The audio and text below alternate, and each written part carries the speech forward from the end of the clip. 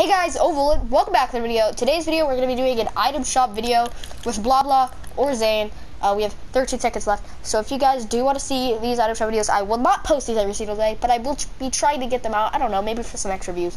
Um, but yeah, without further ado, let's see what's in the featured and daily items. Uh, hopefully it's new skins. I, I don't think it will be, though. Maybe the Scarecrows. the Dark Bomber! Oh my god, and the Dark Bag. Oh my god. Oh my, no. And the Thunder Crash. And the Dark Glyph? I don't know. Dude, this is sick.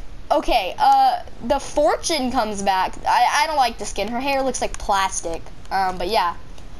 Oh, the Dark Bomber. She's so sick, dude. Um, Break-In comes back. That, I, that hasn't came out in a little while. Uh, Radiant Striker comes out. Oh my gosh. I like the skin.